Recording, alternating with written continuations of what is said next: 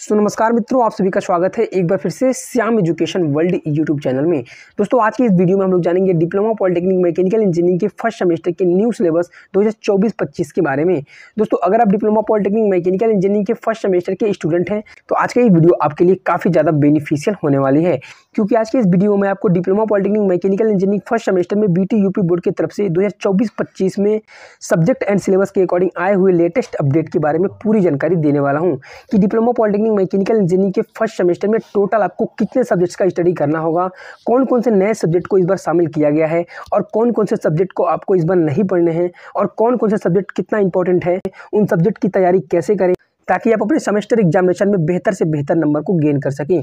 और कौन कौन से सब्जेक्ट का, कितने कितने नंबर का प्रैक्टिकल और थ्योरी एग्ज़ाम होता है, इन सारे सवालों का जवाब जानने के लिए बने रहिए वीडियो के एंड तक। वीडियो काफ़ी इंपॉर्टेंट होने वाली है।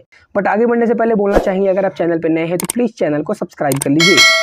तो दोस्तों, अगर आप डिप्लोमा पॉलिटेक्निक मैकेनिकल इंजीनियरिंग के फ़र्स्ट सेमेस्टर के स्टूडेंट हैं या फिर मैकेनिकल इंजीनियरिंग के फ़र्स्ट सेमेस्टर में एडमिशन लेने वाले हैं तो आज का ये वीडियो आपके लिए काफ़ी ज़्यादा इंपॉर्टेंट होने वाली है। आइए दोस्तों, इस वीडियो को शुरू करते हैं। लेकिन दोस्तों, मैं आपको उससे पहले बताना चाहूँगा कि डिप्लोमा पॉलिटेक्निक का एग्ज़ाम सेमेस्टर वाइज कराया जाता है। छः महीने में एक सेमेस्टर का एग्ज़ाम कराया जाता है। अर्थात एक साल में पूरे दो सेमेस्टर का एग्ज़ाम होता है और तीन साल में पूरे छः सेमेस्टर का एग्ज़ाम कराया जाता है। इसके बाद हम जानेंगे कि डिप्लोमा पॉलिटेक्निक मैकेनिकल इंजीनियरिंग के फ़र्स्ट सेमेस्टर में टोटल आपको कितने सब्जेक्ट्स का स्टडी करना होगा। तो दोस्तों, डिप्लोमा पॉलिटेक्निक मैकेनिकल इंजीनियरिंग के फ़र्स्ट सेमेस्टर में टोटल आपको फाइव सब्जेक्ट्स का स्टडी करना होगा। जिस सब्जेक्ट का नाम कुछ इस प्रकार दिया गया है, आप उन सब्जेक्ट का नाम देख सकते हैं। इन सारे सब्जेक्ट में से कुछ सब्जेक्ट का रिटेन एग्ज़ाम होता है, कुछ का ओनली प्रैक्टिकल होता है और कुछ सब्जेक्ट का प्रैक्टिकल और रिटेन दोनों कराए जाते हैं। तो दोस्तों, आइए इन सारे सब्जेक्ट्स को एक एक करके देखते हैं। जिसमें नंबर वन पे जो हमारा सब्जेक्ट है, वो है अप्लाइड फिजिक्स फ़र्स्ट इसे शॉर्टकट में अनुप्रयुक्त भौतिकी फ़र्स्ट के नाम से भी जानते हैं।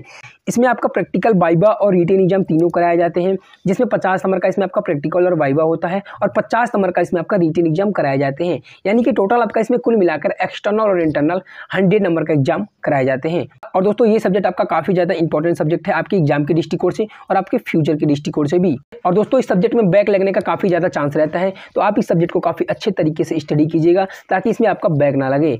और दोस्तों, आपको इसकी बुक सार्थक या एशियन पब्लिकेशन की लेनी है, अगर आप अपनी स्टडी को अच्छे तरीके से कंटिन्यू करना चाहते हैं तो। अदरवाइज़ अगर आपके पास ओल्ड बुक है तो आप उससे भी कर सकते हैं नो प्रॉब्लम इसके बाद डिप्लोमा पॉलिटेक्निक मैकेनिकल इंजीनियरिंग के फ़र्स्ट सेमेस्टर के स्टूडेंट को नंबर टू सब्जेक्ट जो पढ़ना होगा, वो है अप्लाइड मैथमेटिक्स फ़र्स्ट इसे हिंदी में अनुप्रयुक्त गणित फ़र्स्ट के नाम से भी जानते हैं। इसमें आपका ओनली रिटेन एग्ज़ाम होता है, इसमें कोई प्रैक्टिकल वाइवा नहीं कराए जाते हैं। और दोस्तों, ये सब्जेक्ट भी काफ़ी ज़्यादा इंपॉर्टेंट सब्जेक्ट है आपके एग्ज़ाम के दृष्टिकोण से, क्योंकि दोस्तों, इस सब्जेक्ट में भी काफ़ी ज़्यादा बैक लगने का चांस रहता है तो आपको इस सब्जेक्ट को भी काफ़ी अच्छे तरीके से स्टडी करना होगा। और दोस्तों, आपको इसकी बुक भी सार्थक या एशियन पब्लिकेशन की लेनी है। अगर आप अपने स्टडी को अच्छे तरीके से कंटिन्यू करना चाहते हैं तो अदरवाइज़ अगर आपके पास ओल्ड बुक है तो आप उससे भी कर सकते हैं नो प्रॉब्लम इसके बाद नंबर तीन पे जो हमारा सब्जेक्ट है, वो है अप्लाइड केमिस्ट्री इसे हिंदी में अनुप्रयुक्त रसायन के नाम से भी जानते हैं।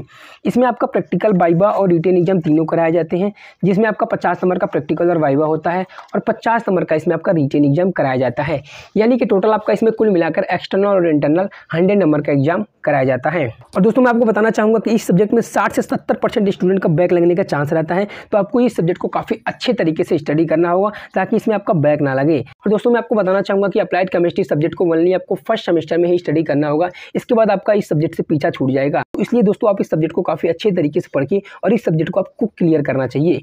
और दोस्तों, आपको इसकी बुक भी सार्थक या एशियन पब्लिकेशन की लेनी है, अगर आप अपनी स्टडी को अच्छे तरीके से कंटिन्यू करना चाहते हैं तो। अदरवाइज़ अगर आपके पास ओल्ड बुक है तो आप उससे भी कर सकते हैं नो प्रॉब्लम इसके बाद नंबर चार पे जो हमारा सब्जेक्ट है, वो है कम्युनिकेशन स्किल फ़र्स्ट इसे शॉर्टकट में सीएस फ़र्स्ट के नाम से भी जानते हैं। ये सब्जेक्ट भी आपका काफ़ी ज़्यादा इंपॉर्टेंट है आपके एग्ज़ाम के दृष्टिकोण से और आपके फ्यूचर के दृष्टिकोण से। इसमें आपको क्या पढ़ाया जाता है? इसमें आपको कम्युनिकेशन स्किल के बारे में बेसिक चीज़ों के बारे में बताया जाता है। और साथ में आपको इसमें ग्रामर का भी स्टडी कराया जाता है। तो ये सब्जेक्ट भी काफ़ी ज़्यादा इंपॉर्टेंट है आपका।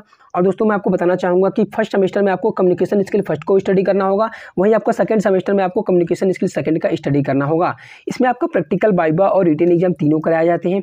जिसमें पचास नंबर का इसमें आपका प्रैक्टिकल और वाइबा होता है और पचास नंबर का इसमें आपका रिटेन एग्ज़ाम कराया जाता है। यानी कि टोटल आपका इसमें कुल मिलाकर एक्सटर्नल और इंटरनल हंड्रेड नंबर का एग्ज़ाम कराया जाता है।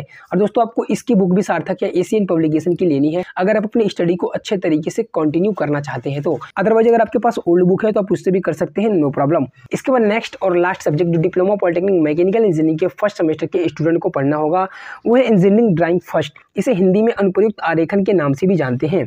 इसे शॉर्टकट में ईडी फ़र्स्ट के नाम से जानते हैं। ये सब्जेक्ट आपका काफ़ी ज़्यादा इंपॉर्टेंट सब्जेक्ट होता है। इसमें आपको क्या करना होता है? इसमें आपको वनली ड्राइंग बनाना होता है। इसमें कोई रिटेन एग्ज़ाम नहीं होता है। और दोस्तों, इसका पेपर आपका टोटल साठ नंबर का होता है, जिसमें आपको passing mark minimum twenty number लाने होंगे। तभी आप इस एग्ज़ाम में पास हो पाएँगे। और दोस्तों, आपको ईडी फ़र्स्ट की बुक भी सार्थक या एशियन पब्लिकेशन की लेनी है, अगर आप अपनी स्टडी को अच्छे तरीके से कंटिन्यू करना चाहते हैं तो। अदरवाइज़ अगर आपके पास ओल्ड बुक है तो आप उससे भी कर सकते हैं नो प्रॉब्लम तो दोस्तों, ये टोटल आपको फाइव सब्जेक्ट का स्टडी करना होगा डिप्लोमा पॉलिटेक्निक मैकेनिकल इंजीनियरिंग के फ़र्स्ट सेमेस्टर के स्टूडेंट को। और दोस्तों, मैं आपको बताना चाहूँगा कि अगर आपको किसी भी सब्जेक्ट से रिलेटेड किसी भी तरह का डाउट हो तो आप मुझे कमेंट कर सकते हैं, मैं रिप्लाई ज़रूर दूँगा। तो दोस्तों, उम्मीद करते हैं कि डिप्लोमा पॉलिटेक्निक मैकेनिकल इंजीनियरिंग के फ़र्स्ट सेमेस्टर से रिलेटेड लेटेस्ट सिलेबस के बारे में जानकारी आपको यूजफुल लगी हो। तो please like and subscribe this channel thanks for watching video मिलते हैं एक न्यू वीडियो के साथ। तब तक के लिए जय हिंद बंदे मातरम।